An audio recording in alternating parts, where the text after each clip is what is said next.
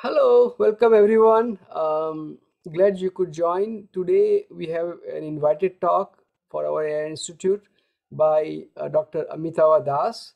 He is a lead scientist uh, at a uh, newly built or recently built rather uh, Wipro AI lab in Bangalore or Bangalore. And um, earlier he has been an assistant professor, an associate professor uh, at uh, academic institutions in India uh, he has uh, advised three PhDs to completion and is engaged with uh, advising maybe uh, five or so PhDs right now. Uh, and um, uh, he has, the, you know, since eight years, he got his PhD about eight years ago, and um, he has been at various places in um, US, Norway, others for his postdoc and other activities. Now, for us, what is interesting is that um, he works on various aspects of natural language processing, uh, and uh, particularly uh, he focuses on the intersection between human language, mind cognition, and artificial intelligence. And um, you know, as uh, all of you are aware, these are some of the areas where we are quite active in. So, um, and we also have a, a joint project uh, with. That uh, for which he was responsible in getting started. Um, uh, the one uh, where Wipro is leading the consortium with IIT Patna and um, AISC, the Percuro project. So with all that, I'm going to and, and yeah, there is an interesting um, workshop that he is also uh, doing at uh, AAAI called Defactify. Uh, it's on multimodal facts checking and you know hate speech detection uh, fact checking and hate, hate speech detection. So with that introduction, I will pass on to uh, Amitava. Thank you. Thank you, sir, for the invitation. So let me get started. I can possibly full screen this. So good morning to all of you. And you know, thank you, Professor Sheth, for inviting for this talk. My talk title is Gregarious Machine and the Evolution of Social Computing. Possibly you can you know, understand what I'm trying to say today. So the machine which can understand the societal facts and you know understand societal skill and you know it can act like human. I mean that's the that's the notion of the social computing. And today possibly we do not need to intro, you know introduce social computing what it is. There are dedicated forums like CSCW, SNM, and so on. People have been talking around. So I, I typically work on the area of NLP. I mean, NLP is my core area. I've been working, you know, since last uh, almost 15 years.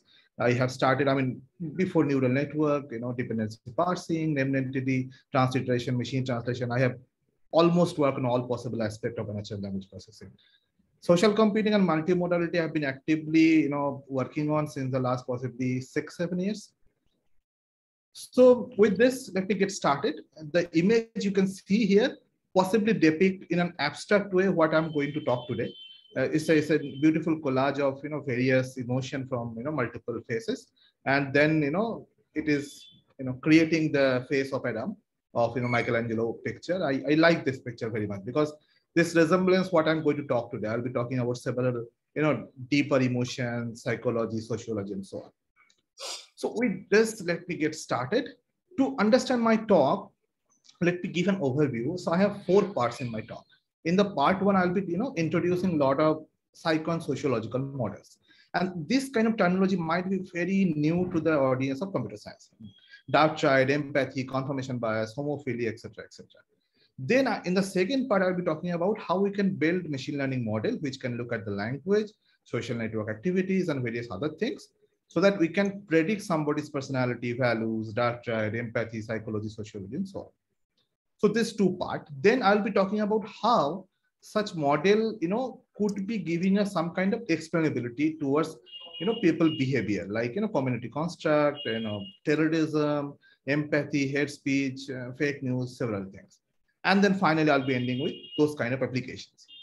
So now why so many things into one place in one talk i have been giving you know talk on this subject possibly last three or four years so if i choose the first two uh, it is becoming very you know abstract to you know computer science people they listen to it all the you know beautiful terminology and then say okay fine what is the use but if i go directly here people say okay fine but i don't know what is this so what i try to do i try to wrap uh, all these things in one talk.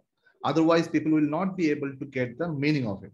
But it, you know, it's a lot of content actually. So this part, three and four, I will be not going into the detail of things, you know, which have parameters and etc. But I will be, you know, going to give you some kind of glimpses. You know, what are the things we are actually working on. So with this, let me get started. Now in my talk also, so there are several angle to it, you know, societal angle, psychology angle. So sometimes there are a lot of criticism and controversies are there as well. So people ask a lot of questions. So what I request to all my audience is if you have those kind of question, criticism or whatever, you know, discussion related. So wait until end. If you have clarification on etc. kind of question, you know, you can stop me anytime, ask me question. I'll be very happy to, you know, answer. So now with this, I'm starting with my talk. So my journey started here, sentiment analysis. In my PhD, I, I worked on this. But I always had a question, uh, sentiment and human sentiment cannot be binary. That's fine. Given a test, you find out positive, negative, neutral, and then how positive, how negative, but what is the subject? That is fantastic, but this is not the sentiment analysis we should be working on.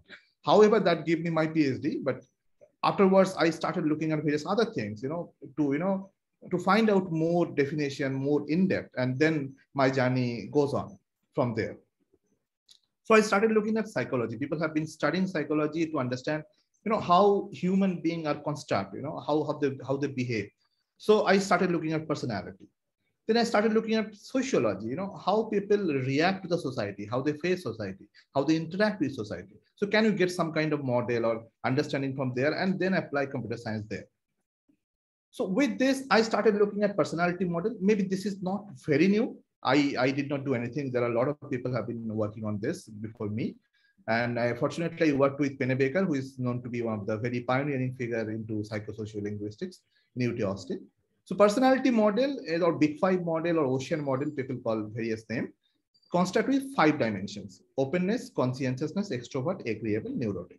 Openness, you can possibly understand. Conscientious, typically people who like everything in order. So typically Mr. Perfect and you know Miss Perfect, like my mother, you know, everything, you know, has to be in order. So conscientiousness is very high. Extrovert, people like to go out and talk. Agreeable, you can understand. Neurotic, typically sentimental people, you know, very high. Now, my definition, we can actually go much deeper level. But you can understand possibly if we have to go into that deeper level, we need a lot more data. And I believe nobody did it, uh, you know, but we are trying to get more data for, for the time being with my PhD students training. So that's the personality model. So I, I describe this as a personal level sentiment model. In psychology, it is being told as, you know, uh, uh, stranger personality model because this trait could be very easily detected, you know, if you look at somebody for five or six days, let's say. Now, what we bring into from sociology is the one level further, values and ethics. Although by namesake is called values and ethics, but I describe this as a societal sentiment model. What, what is described? So it describes societal sentiment like benevolence, universalism, conformity, security, tradition. So 10 dimensions are there. So to, to give you a very basic example, I don't know how many, Uh, you know, in my audience, how many is actually, you know, from India, from US, from other countries. So let me try to give you some example. For example, in US, Texan has their own style of, you know, living. But if you go to Dakota, they have their own style. If you go to Florida, they have their own style. And if you're Native American, you know how they how they behave and etc. Also in India, you know, Bengalis has their own culture and so on. So can we identify this by machine learning and computer science model? So that's this model actually talking about. So Schwartz is a sociologist who described this model in 2000. Again, did some further edit in 2014. So this is the model we pick up from sociology. Again, in this model, we can go in much more deeper level, but unfortunately, we do not have that much data as of now, but we'd like to explore in future. Now, Schwartz also described all this model from very negative to very positive, power, achievement, stimulation, from benevolence to universalism. So these are very positive and these are very negative. Also, this could be, this 10 dimension could be grouped into four superclasses. These are more social focus, these are more personal focus. So these are conservative people, these are self-transcendent people, these are openness to change and self-enhancement. It's okay if you don't understand everything, you know, a lot of jargons and, you know, just, you know, stick with me. I'll, I'll take you through, you know, all the things. So now dark side of personality is another, another level of personality, which is our dark side, you know, we, we all have by definition of psychology. Narcissism, Machiavellian, and psychopathy. Narcissism possibly understand the egoist people. Machiavellian, typically the manipulative. Psychopath is little, you know, uh, they are disordered in many ways. Also, sometimes people, you know, describe tetrad, but I don't know with my knowledge, I, I did not see any work in computational on the sadism. Maybe there are in recent time, I don't know. So we stick to the dark triad model. So I introduced three models, basic personality, the strange person, I mean, stranger personality, which could be very, you know, easily observable, societal, you know, sentiment model like values and ethics, and the dark side of it. So with these three, I'll be constructing a lot more, you know, uh, complex problem in, in, in the future in my talk. So now let me start with how we can build this kind of uh, model into, you know, using computation technique. So let me tell you how the data collection actually happens. So there are questionnaire, which is typically being, you know, developed by psychologists. I do not have anything to do because I'm not a psychologist. So we basically take help from them. So we, we take the questionnaire. However, there are a lot of, you know, controversy there as well, which is the good method, this questionnaire, that questionnaire. I'm not going to that detail today. So what we did, we took the questionnaire from the Pennebaker group we floated this for the values and ethics model. We floated this in Amazon Mechanical Turk, and we asked them to, you know, self-report. For example, it is important to her for reach. Somebody has to, you know, say, okay, six, five, or whatever. So we could get a lot of data. However, there are a lot of issues, you know, getting spammers and etc. in Amazon Mechanical Turk. So we got a lot of data, and we also asked them to give, you know, their social media handle name, Twitter typically. So we have their values and ethics numbers or the scores on one hand and their social media you know data in one hand. So now our job is to create something which can look at somebody's social media profile and possibly can predict. So how the calculation happens so there are a lot of methods. Uh, so we pick this one. So there is a typical uh, this is achievement benefit in the SWOT values conformity hedonism and so on. So based on each direction there are you know questions you know out of 50 questions there are you know, defined questions there. I mean, it is not known to the user, but known to us. Then we average them out to get a, you know, uh, range value minus one to one. We just, you know, do min-max you know, normalization. So we get minus one to one. Now, how to construct this problem for computer science or machine learning? So there are two ways. So typically psychologists, sociologists prefer to say numbers. They say, Amitabh, you are 0.25 open and 0% you know, conscientious or whatever. So we, we took both. So we take, uh, you know, a median score and say anything beyond that is yes plus, anything under that is no class. And we also take the regression numbers uh, to make classifiers. So basically for personality, we have 10 classifiers, values and ethics, we have 20 classifiers. And then uh, for dark triad, we have six classifiers. So that's the construct.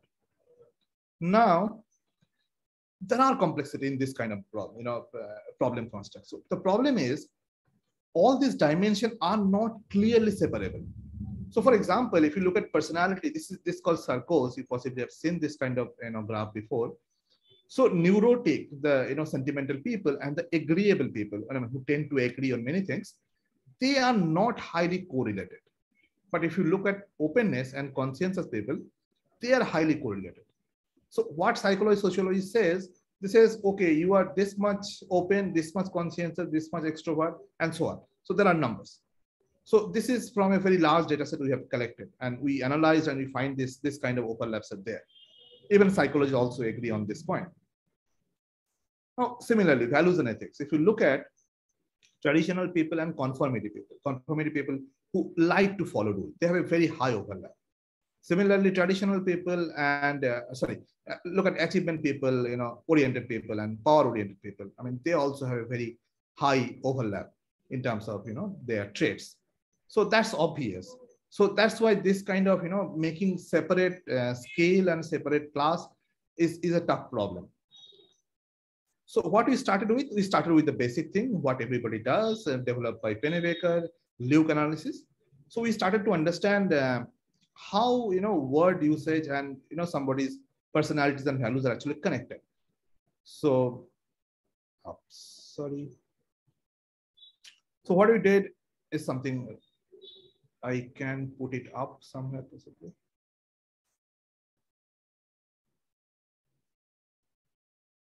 Okay, so how yeah, better. Okay, so if you look at benevolent people, they use a lot of affect related word. I mean, like a sentimental word because they, they think about others. But if you look at power oriented people, they do not use this kind of words. Similarly, self directed people, I mean, who like to live their life by their own rule, they use a lot of exclusive word in a sense they are very particular about their choices.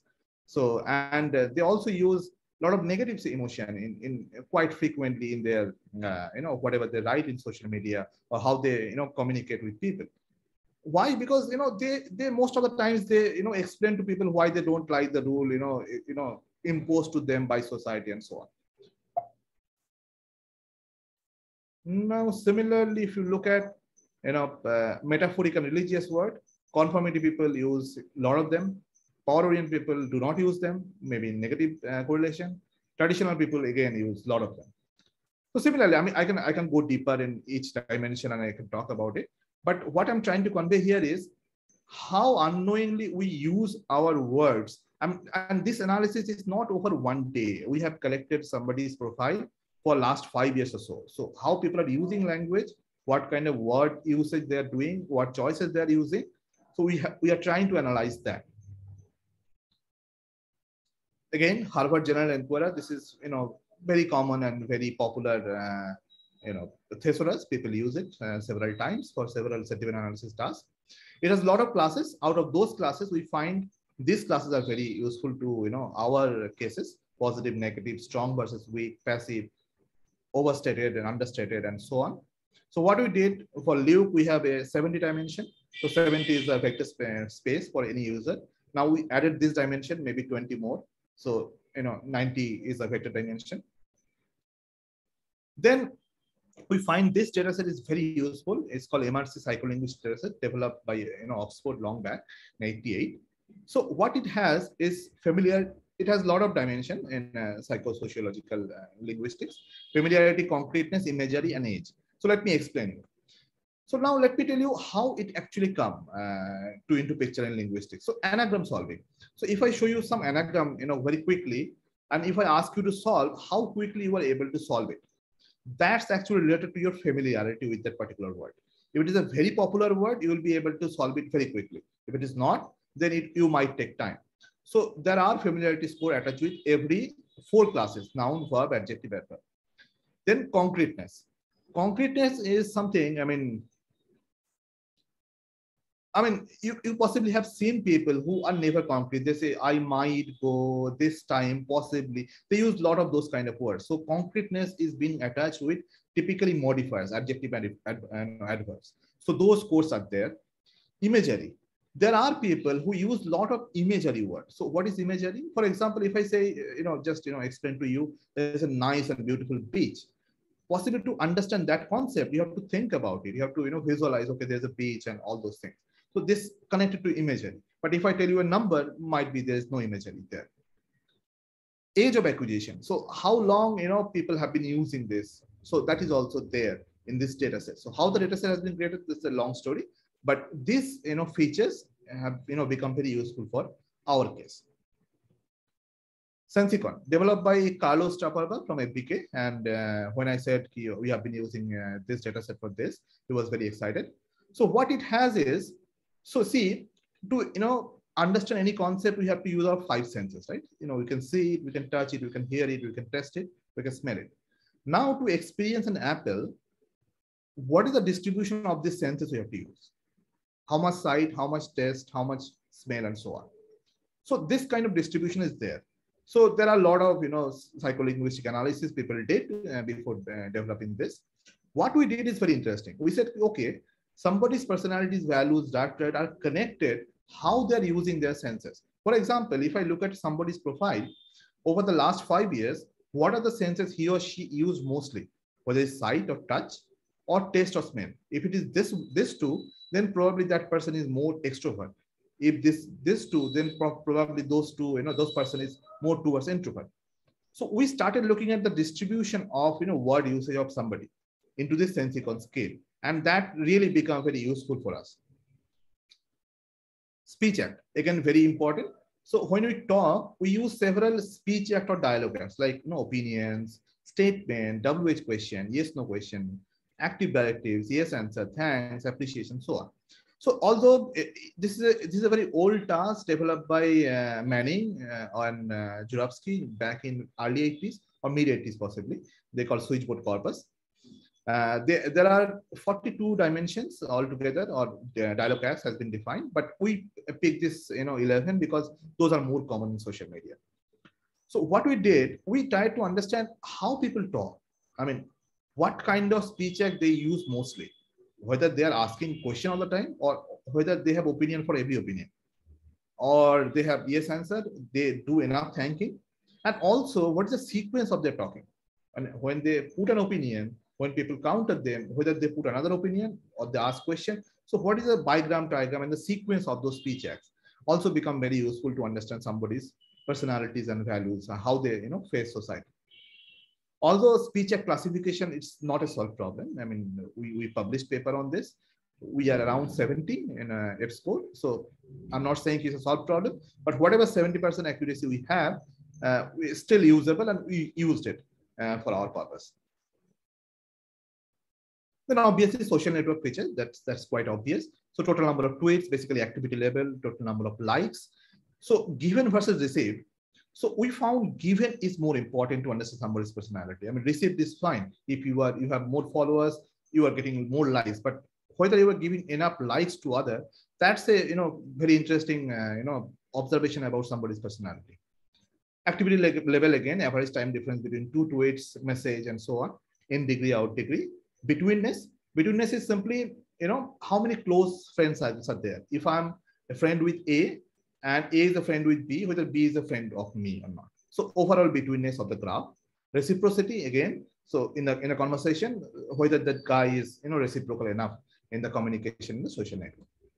So with this all feature set we developed uh, machine learning models.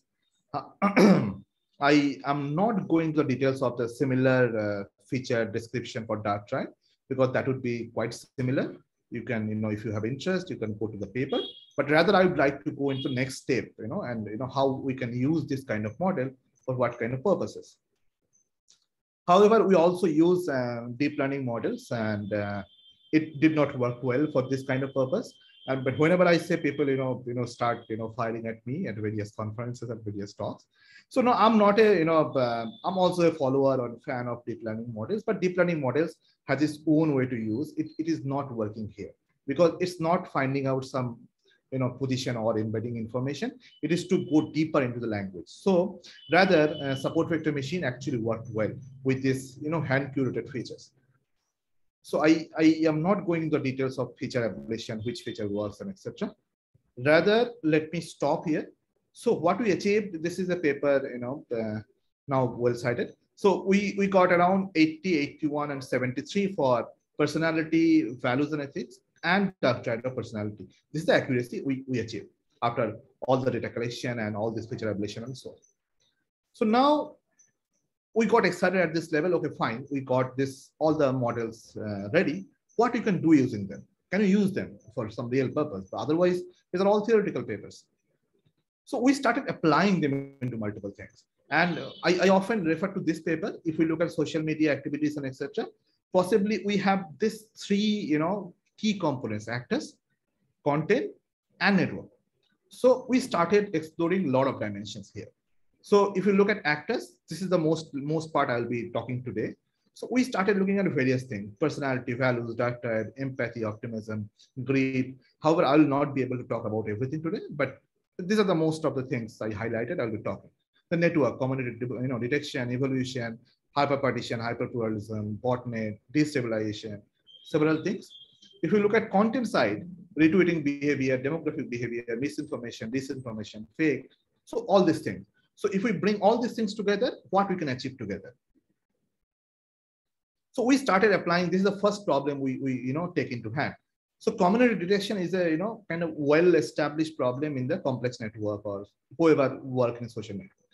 So what people say, okay, given a graph, I'm trying to identify you know communities, basically subgraphs. And what is the definition of subgraph? I mean, nobody knows. And people define by their own choices. But if you look at somebody's social media profile, we have a lot more differences. right? we have family members, we have high school friends, we have friends for several jobs, we have so many other people. All are not my friend. So what we said, okay, so if we take this problem and try to inject our, you know, more deeper model to understand somebody's personality, values, and so on, can I get something? So what I can get, now if you think this is a community, there are 10 users here, user one, two, three, and user 10. And if you think these are their values numbers, whatever we got from machine learning, achievement, benevolent, and so on. Now, what I'm trying to understand is if this is a community, why this is a community? I mean, if people are together, there must be a reason that they're together, right? So what is the commonality here? So what we did is very simple. We said, okay, okay let us apply, you know, entropy and try to see how on the which dimension they are, they are similar. So what we found, if you look at achievement, they are quite similar. That makes sense. Okay, fine. So this community is achievement-oriented community. So this is a common, you know, trait people have. That's why they are together. And as I said earlier, these are fuzzy models. So there are maybe, maybe secondary or tertiary dimension, they're also quite similar. So self-direction and stimulation. So this is a community majorly achievement oriented, then self-direction and stimulation. Okay, fine. So with this, what we can achieve? What we did, we took the SNAP dataset, which is very well used, uh, developed by you know Jure Leskovec in Stanford University. You know, it's a well-cited paper, and we took the dataset. This is a AAAI paper in 2017. We took the dataset and you know apply our model into that and try to see, okay, can we explain why community, how the community construct overall? So what we find very interesting, uh, power orientation people having problem with any group, any kind of group. I mean, they have always higher entropy. Traditional people similar. Now, if you see there's a clash, otherwise, you know, self-directed people and conformity people having a high clash. And that's obvious because, you know, self-directed people do not follow any rules. Conformity people follow rules imposed to them by society or any organization. Self-enhancement people, I mean, they, you know, run by their own, you know, for their own interest. Achievement people, they want to achieve together with the group, with the society, with the community they, they're in. Now, whatever I, I mean, I'm, I'm just, you know, giving some comments we got from a reviewer in some journals. Then people started saying, okay, fine, fantastic, but what is new here? So the new is here. I mean, this is all known to us. Yes, agreed. But there, there was no, you know, empirical paper before we published this. Nobody proved this by empirical results, looking at social media and involving a lot of, you know, this kind of models. Then we applied these models, uh, you know, into the CESNA model, which is again the state of the art at that time, again by Jure Leskovec on the same data set. And we showed that our performance is much better, way better than them. Because we now, you know, we are now considering the graph, graph of people, not graph of nodes. We are actually understanding who are those guys and what they think and what is their orientations in terms of psychology and sociology. So we got really excited. Uh, so then we started, you know, going into much more deeper in dimensions. So can we go deeper? Can we understand more? So then we look at the, the second one. Let me, you know, it's a smaller video I have.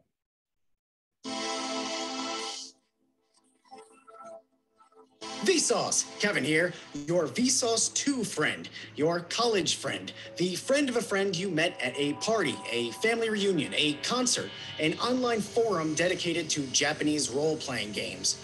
But am I really your friend? Probably not. Why? Because we don't like the same music or movies? Because you wouldn't invite me to your wedding? No. Because your brain is full.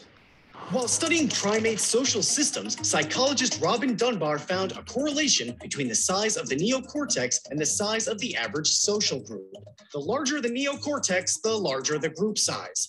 By extrapolating his findings and applying them to humans, he arrived at a cognitive limit for the amount of complex, mutually affectionate social relationships a person's brain can handle. A research guideline for the number of real friends you can have. A literal friend zone of 150.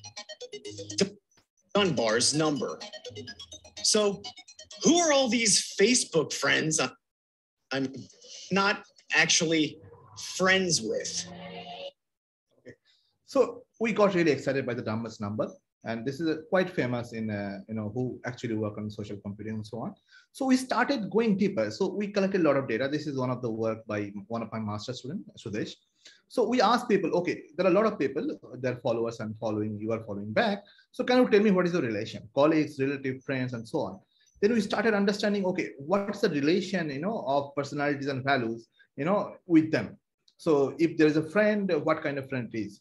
So we, we got a lot more details here. Again, uh, you know, to save time, I'm not going into details. So in nutshell, on top level, I would like to say, you know, there are a lot of personality match in terms of, you know, when we look at friends, but there are a lot of values and ethics match when you look at relatives. And that's really interesting. Then we publish again. Then we start looking at the bigger scale. Okay, can you look at now big scale? Can you look at India versus US, you know, two different cultures and what we can infer there? Now, if you remember at the very beginning, I described the Schwartz model. I said ki those could be categorized into four, you know, bigger groups: self-enhancement, conservation, transcendence, and so on and so forth.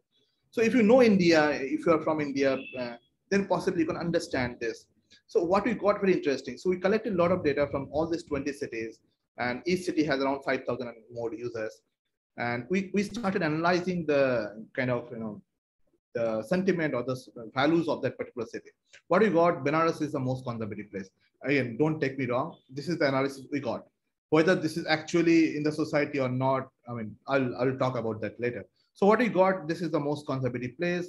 Even, you know, somehow this place, you know, the north east, not this northeast, this north east is reasonably, you know, conservative place in India. And if you look at the, you know, west side, people are more, you know, self-enhancement oriented. And that's obvious because this is the kind of business hub, um, Mumbai or you know Ahmedabad or Pune or so on. So that's you know excite us. Okay, so now can we apply this to US? So we applied that to US, and it's around 200k and uh, no 200,000 uh, users data from US we have collected.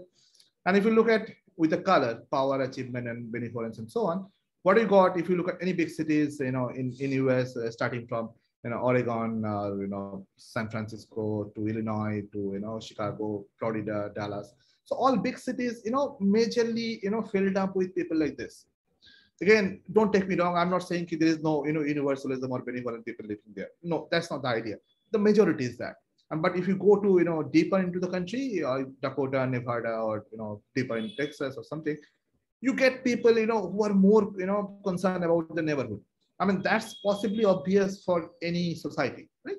So whenever we want to achieve something big, we, we move to cities and do something big there. So that's the way in a community forms. So that again excites us and we publish again. So now uh, we started analyzing more deeper. So can we understand somebody's, you know, positivity, optimism, and pessimism based on, you know, what their personality is and where they belongs to? So I, I typically give this example to my student all the time. It's to, to typically Srini. If I send you to Namibia without any phone connection or internet, uh, you possibly not remain you know, positive about life. Why? Because positivity and negativity depends on our personality and the group we are in. So we took the data from Rada, uh, University of Michigan. Earlier, she was in University of North Texas when I was in US. So they developed a very large data set about you know optimism and pessimism. So if you look at this statement, prettiest phone ever, I love it, it's a positive statement, but not optimist possibly. But if you look at here, be positive, think positive, like positive, and etc. It's a it's a optimist statement. Again, this is a bad time for me. It's a you know kind of negative statement, but this is more pessimistic. So how how things being defined by data is you know if you look at somebody's whole uh, post, all the posts and try to you know define the optimism, pessimism, you, you got a spectrum and you say your top guys are you know, optimists and bottom guys are pessimists and so on. So what we did, we tried to analyze, okay, what makes people optimist and pessimist when they're in a group? So what we saw is very interesting. Uh, this one, I, I really like it. So if you look at agreeable guy, I'm quite sure every friend group there is the agreeable guy. And uh, if you want to go party, yes, he said yes. Um, don't go to lab today, yes. So he's agreeable guy. So always agree. So he or she has never problem. So this is the personality. And these are the values of the group they are into benevolent conformity, hedonism, power, and so on. So see, their optimism level is mostly positive wherever they are because they never counter, except the traditional group. But if you look at the conscientious guy who is, you know, more uh, uh, to the point or organized, that guy has problem in the power orientation group, in the traditional group, in the you know self-directed group, And this number also define many things. So that's very interesting. So again, we publish. So this is something uh, we got, uh, it, it is still unpublished. So, so we have been working. So this is something on the community evaluation. So we are trying to, and we are actually able to explain how the community evolution happened in, a, in, in Twitter network. So when people start following somebody, unfollow somebody, it depends on the, you know, kind of optimism, pessimism is there. People think if I, you know, start following this guy, I get a lot of positive vibe and so on. So we, we are able to explain it into certain level. And on the top of the, you know, uh, uh, permanence model, which is developed by uh, in his PhD, is completely topological.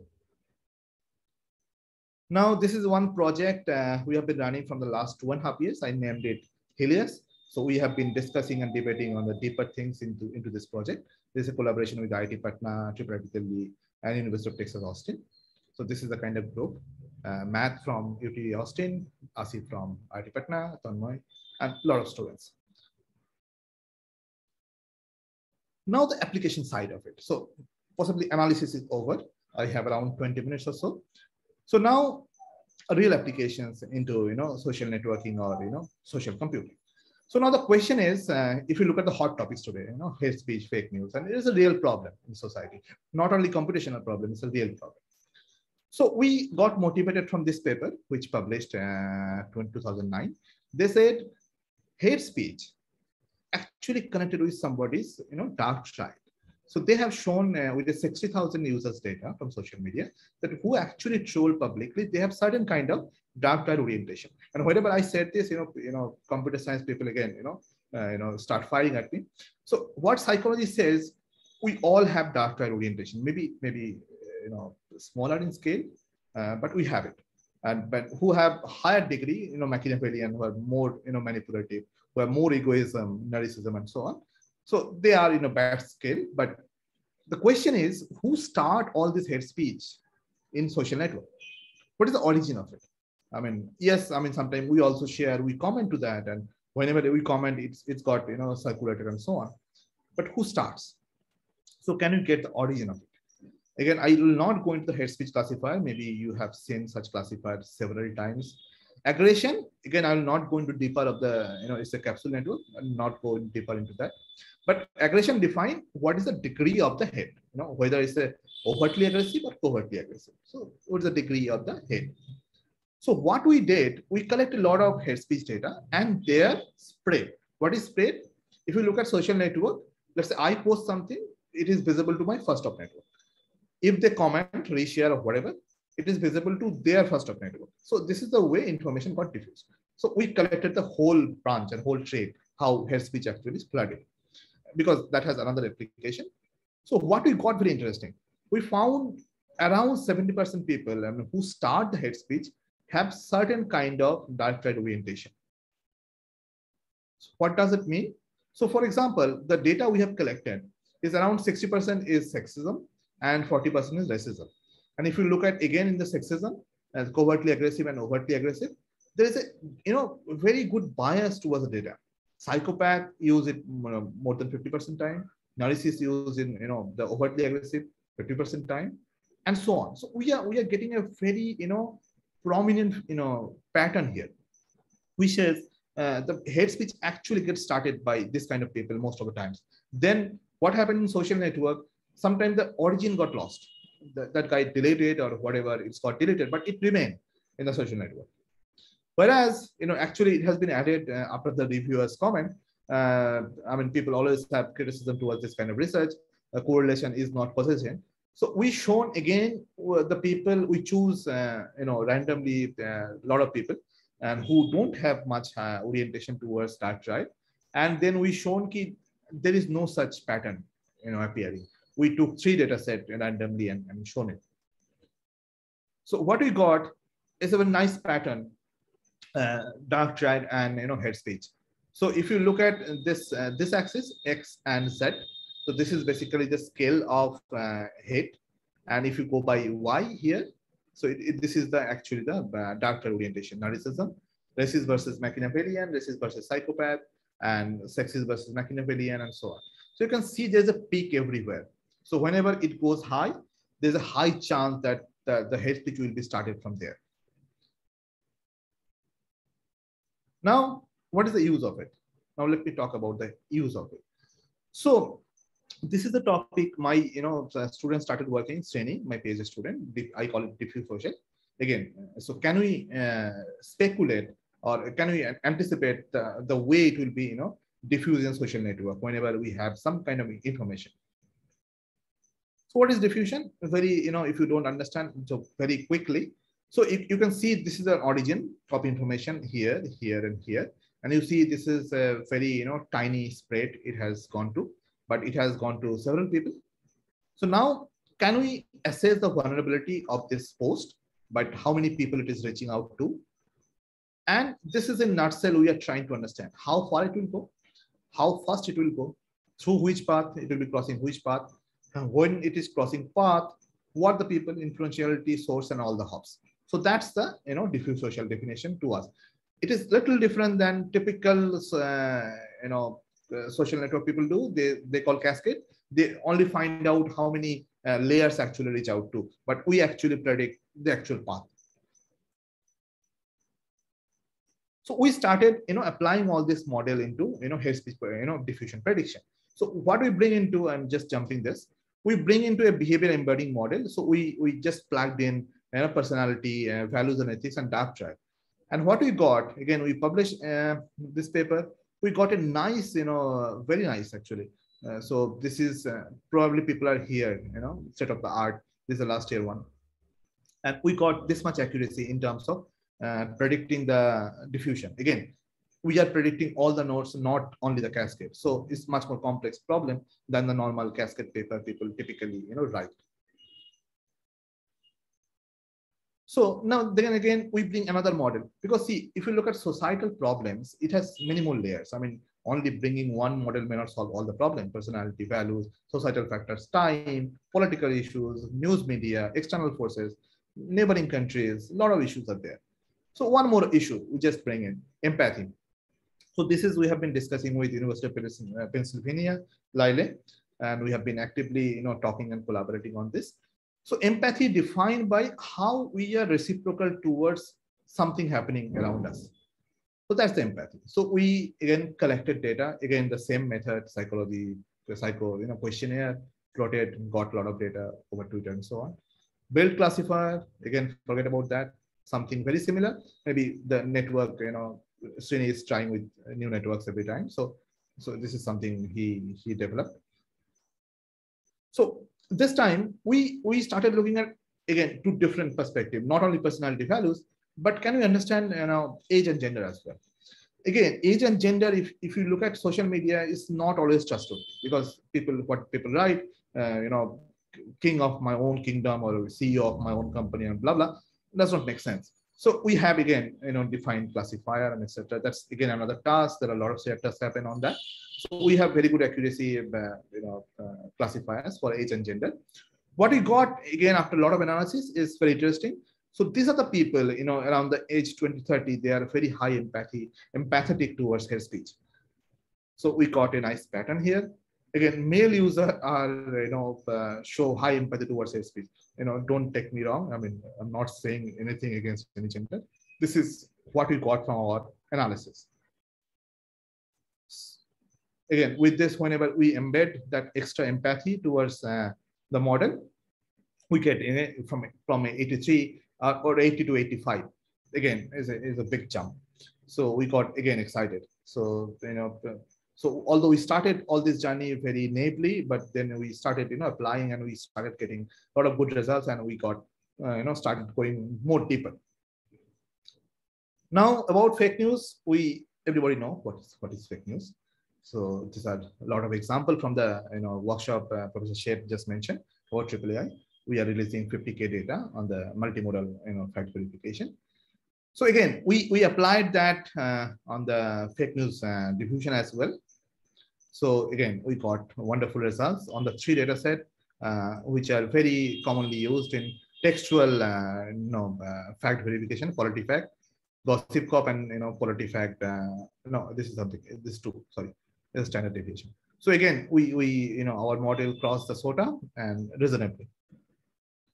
So then with all these things within the Helios project, we developed a simulator. So let me just show you a glimpse of that simulator. Hello everyone. Today, I'll present to you a visualization tool for information spread on social media. With an increase in usage of online platforms, there has been an exponential rise in online researchers are working on how to analyze and predict the spread as early as possible. Using the proposed tool, they can Okay, so this is Sarah's voice. So I'm not going into the whole data. It's a longer video. He recorded, she recorded. So what we do here is we just you know uh, plug in all those models and try to see how the diffusion is getting predicted and how the actual you know diffusion happened. And then we try to analyze point wise what is the problem and you know see how, how we can improve. So it's a nice tool we developed uh, during the Helios project. So these are the few things uh, um, we are currently working on. So hyperpluralism, I mean, this is a nice concept. I, I don't know whether you have heard about it, but let me just, you know, I just take the opportunity to interact with the audience here. I'm, you know, I'm trying to give you uh, one, you know, scenario. Let's say you, you just walk into Walmart and you see there are 10 guys standing at some position and they're looking at, uh, you know, up and trying to see something and with curiosity. Whether you will stop by and look at, look at up. Just give me yes or no.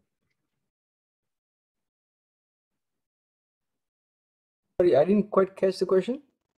Yeah, the question is, let's say I'm going into the Walmart and I see there are 10 guys standing there and trying to look something curiously at the up. Hmm. So whether I'll stop by and look at up. Ah, uh, y- I would think uh, many people do because uh, if you look at uh, uh, accident on the road, uh, everybody slows down on the other lane, uh, opposite lane, just to you know it's called rubbernecking, just to you know see what's happening there. So a lot of people uh, uh, you know are curious and or or I don't know, yeah, at least sufficient number of people uh, that uh, the whole um opposite lane also slows down a lot when there is a car you know car accident let's say. So the curiosity is pretty high. In, in fact it's very interesting. Manas is currently working on information curiosity uh, issue with pk uh, Oh, but is that what you are uh, is the curiosity an issue is that a question you, you have or something else no, okay, no, no, no. Hyperpluralism actually, you know, developed, you know, the concept developed from sociology, but it has been used in a reverse way by Harvard Business School in early 80s. So they did experiment one nice thing in the, you know, that time in a busy New York State in the office time, they just put 10 guys who are, you know, kind of curiously looking at up and the whole traffic stops. So it's actually, you know, create, you know, the, if, if, if you look at the Cambridge Analytica case, so people actually do social, reverse social engineering to create this, you know, snowball effect. So if I go at social media and start seeing everybody is, you know, talking happily about Trump, I may start start believing it. So that's the, you know, uh, kind of uh, phenomena, uh, you know, created. So we are, we are, you know, we have collected a lot of data and we are trying to analyze that and whether we can, you know, detect that early. So that's uh, that's one interesting aspect. Uh, we have been working on it six minutes. Confirmation bias again, uh, very quickly. What is confirmation bias?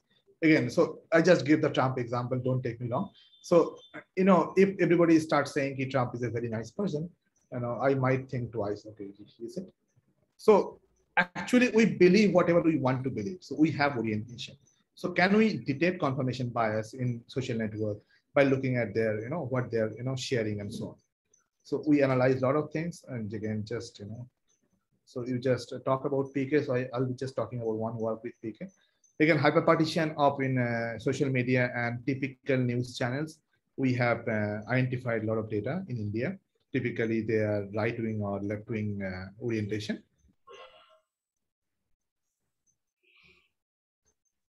Teleportation probability we you know started working on, and uh, this is uh, something uh, we just thought of, but we did just the first task, and then we didn't get time.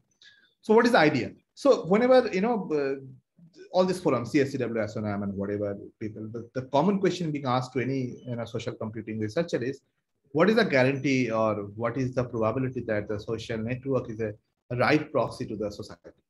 So we started thinking, can we find out some kind of relation? So in, in terms of many things, gender issue, age distribution, literacy rate, crime rate, and so on. So what we did, we find a nice correlation of India's crime and the values graph. And uh, I, I typically quote this because the criminals does not come uh, from space. Actually, they are born and brought up in the society. So to very quickly, uh, where the traditionalism is high, the crime against women and childs are very, very high in India. Whereas this side is not that high. There are different kinds of kind, you know, property crimes and etc. may be higher, but in the traditionalism, those kind of things are very high. Then uh, there are actually we, we published quite a few papers in this. This is something also PK was involved at that time. So we collected a significant amount of data of ISIS, uh, you know, official accounts and their followers and a lot of networks, how they recruit and so on. So what we did is we tried to answer two things: who are more vulnerable towards ISIS recruitment, and uh, what is their you know psycho and sociological you know factors, how how they behave in social network, because uh, ISIS doesn't come to me to recruit me. So there are certain things. So this is a paper in SNM we published, SNM, yeah, possibly SNM in 2017 or 18. So we have shown that there's a nice, you know, distribution and these spikes are very, very different than the normal crowd. They are, you know, conformity, following rules, their hedonism, and their, you know, high sentimentalism, their pessimism, age, you know, age gender distribution, male, female, and so on, are really, you know, we can detect it and uh, we can possibly, you know, mark as rape. These are possible, you know, uh, guys who could be recruited or baptized by any uh, extreme organization. So uh, at the end, let me thank all of my students actually who, who worked on this. And these are typical my collaborators on this front, whatever I, you know, I've been talking, I have somehow collaborated with them. Who, what So did you work? What did you work with? Uh, you know, what did you do with Lyle? like okay empathy so empathy model how empathy model you know could be you know described more and we can you know uh, do a lot more things into uh, whatever we are doing hate speech uh, propagation and so on so he's he's been very very interested into that Right. A very, very interesting uh, set of uh, collaborators and, you know, kind of fits a very unique, uh, I guess, network. Um, I, and I, I, at some high level, even though I don't know all of them very well, I know Eric. Um, I know of Lyle, but don't know him personally. Uh, of course, I know PK and uh, Tanmay. Uh, Rada, I know of uh, for a long time. Um, haven't uh, come across Boy John. Um, but good, yeah, very interesting set of thing and and uh, set of collaborators. thanks professor so let me just quickly conclude uh, and what i always said so gregarious machine i mean the, the machine who can understand society so I, I typically end with this quote of Minsky. He he said in his you know the seminal book, you know, the question is, uh, you know, the machine needs emotion to be you know to call intelligent. So possibly we come across long way after that, and you know today uh, the basic emotion, basic sentiment is probably a solved problem. So now it's time to go further and probably our you know in the new era the machine should understand the social skill if it has to really make a you know position in the society so with this i rest open for question discussion anything Fantastic. Uh, yeah, there is a small question uh, Thilini has. Uh, maybe there are others who might have questions. She says, do you take in account or try to eliminate any self-reported bias in the participants the, the the participants might have? yeah yeah so I, I i i i mean this is Eh, actually it's a common question okay. So i i work i have been working with psychologists since long time just since my phd so see they never you know make consensus on anything. So self-reporting whether it's a right way or wrong way even there are a lot of you know disagreement among psychologists. So what is the other way? So the other way is you know you can go to my friends and you know people who know me better and you can take you know kind of you know survey from them that method also exists and people tried that and published that results and so on but making that happen to large scale data set is very difficult. So we might get few hundred data set in that way. We cannot make this kind of model, computational model, which is data hungry. So yes, self-reporting uh, may be biased towards, and also in in uh, when we go, go to you know uh, crowdsourcing services, there are a lot of spammers who click all the first links and all those things. So we have uh, methods to you know kind of detect that. We again give questionnaire to them in a different ways and etc.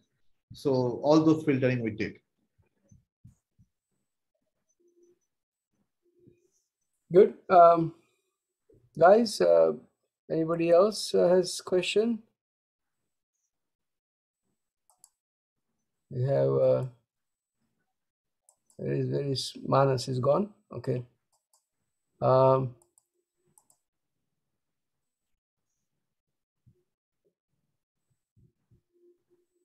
we had, um, I know,